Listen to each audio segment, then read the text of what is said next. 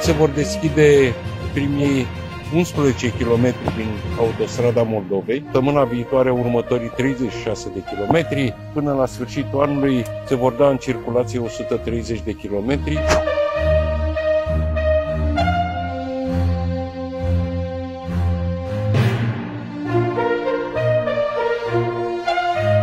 Peste 1,2 miliarde de lei pentru modernizarea transportului public de călători. Cumpărăm 23 de locomotive electrice noi și investim și în alte 9 trenuri electrice interregionale